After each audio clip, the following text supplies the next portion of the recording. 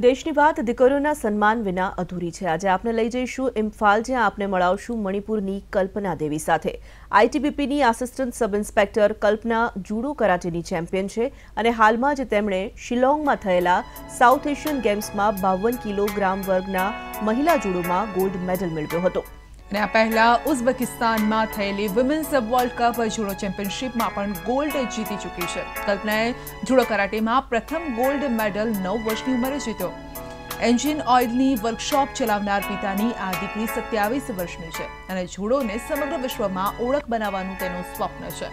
આદિકરી દેશનું સ્વાભિમાન છે અને અમને તેના પર અભિમાન છે